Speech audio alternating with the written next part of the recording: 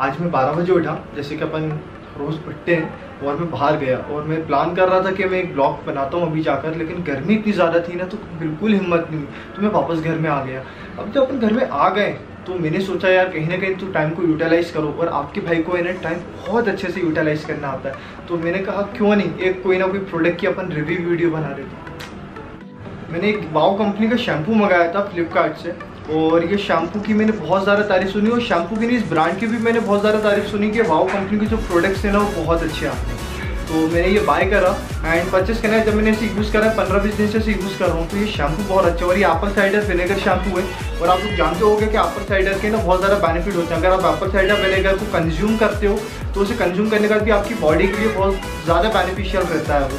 तो इसी तरीके से अगर एप्पल साइडर विनेगर आप अपने बालों में भी डालते हो ना तो आपकी जो डैंड्रफ वगैरह होती है, वो बहुत ज़्यादा बिल्कुल ख़त्म हो जाती है। तो ये शैम्पू मैंने यूज़ करने के बाद मेरी डैंड्रफ वगैरह तो बिल्कुल ख़त्म हो गई और बाल भी बहुत स्मूथ हो जाते हैं और बहुत शाइनी हो जाते हैं। लेकिन एक प्रॉब्लम मैंने फेस करी शैम्पू के साथ कि ये शैम्पू से वॉश करने का आपके बाल है ना डैमेज होने लगे हैं ब्रेक होने लगे तो मैंने सोचा शायद मेरे बाल ऐसे हो रहे हो, लेकिन मेरे घर में जब दो तीन लोगों से यूज़ करवाया तो उन लोगों के साथ भी सेम प्रॉब्लम आ रही है कि दूसरे शैम्पू अगर वो यूज़ कर रहा है तो उनके बाल डैमेज नहीं हो रहा है, लेकिन ये शैम्पू करते टाइम उनके बाल बहुत ज़्यादा डैमेज हो रहा है। तो पता नहीं क्या प्रॉब्लम है, लेकिन ओवरऑल के शैम्पू बहुत अच्छे है। प्रोडक्ट रिव्यू करने के बाद बाहर जाओ और सबसे पहले केरी के पन्ने वाले को ढूंढो। क्यों?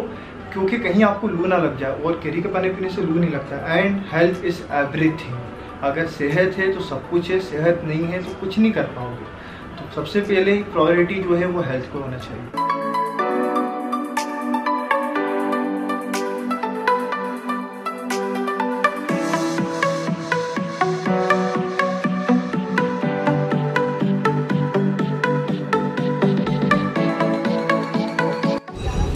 गर्मी में कहीं पर भी बाहर जा रहा हो ना और रास्ते में अगर आम का पाला मिल जाए तो ज़रूर पी लो इससे क्या होता है कि लू वगैरह भी नहीं लगती और काफ़ी अच्छा लगता है, गर्मी भी कम लगती है। तो टेस्टी भी बहुत होता है। और केरी के पन्ने पीने के बाद अगर काम हो ना तो अपने काम करने चले जाओ। और अगर काम नहीं हो तो सबसे अच्छी चीज़ मैं बता रहा हूँ कि फ़ोटो शूट कराने चले जाओ। क्योंकि इंस्टाग्राम गेम्स भी तो ज़रूरी है भैया।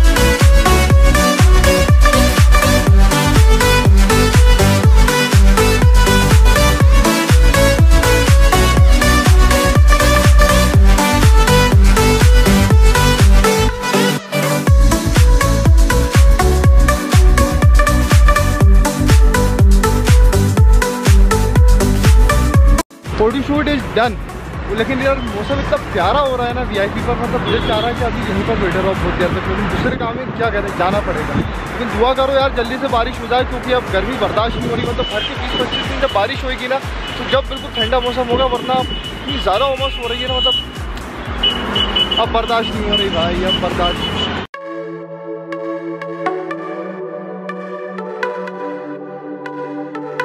हम अभी आए थे दर्जी पे कपड़े सिलवाने के लिए। आमिर को कपड़े सिलने डालना थे। तो मैंने सोचा, यार, अब आमिर ही डाल रहा है तो मैं भी डाल देता हूँ। क्योंकि मुझे फॉर्मल पहनना बहुत पसंद है, लेकिन बहुत टाइम से मैंने फॉर्मल सिलवाया ही नहीं। तो अभी हम यहाँ पर आए दर्जी पर, और यहाँ से ऑलमोस्ट हम और हमारे सारे फ्रेंड्स हैं ना, अभी यहीं से शॉपिंग करते हैं। हम लोगों को कपड़े या शल्ला कुर्ते सिलवाना होते हैं। तो आप यहाँ विज़िट करो, बहुत अच्छा कलेक्शन है। कलेक्शन के साथ साथ फिटिंग एंड क्वालिटी बहुत अच्छी है, बहुत अच्छी है। पीछे आमिर का नाप हो रहा है, वो नाप ले ले, फिर मैं कुछ कपड़े पसंद करता हूँ, मैं कुछ सिलवा लूँ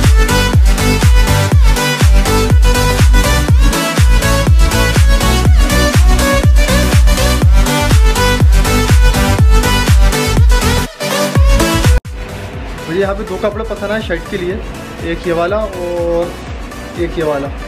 लेकिन प्रॉब्लम ये हो गई कि दोनों जैकेट के कपड़े निकले इसकी शर्ट नहीं सिली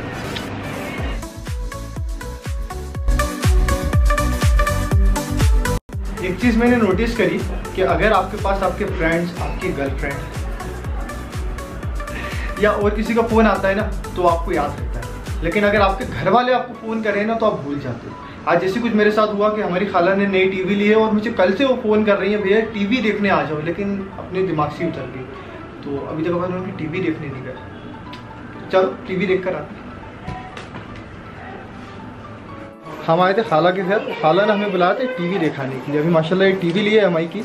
43 इंच और फुल स्मार्ट टीवी है और एक्सपीरियंस बहुत अच्छा लेकिन आपका भाई है ना इतना सेल्फिश निकला कि यहाँ पे आके सबसे पहले अपना नाम सर्च करा। क्योंकि तो अब अपन भी तो देखेंगे बड़ी टीवी में अपना चैनल कैसा लगता है, अपन की वीडियो कैसी लगती है। अभी मैंने यहाँ पे अपनी एक दो वीडियो देखी, बहुत अच्छी लग रही हैं। वो क्वालिटी बहुत अच्छी आ रही है मतलब मज़ा आ गया।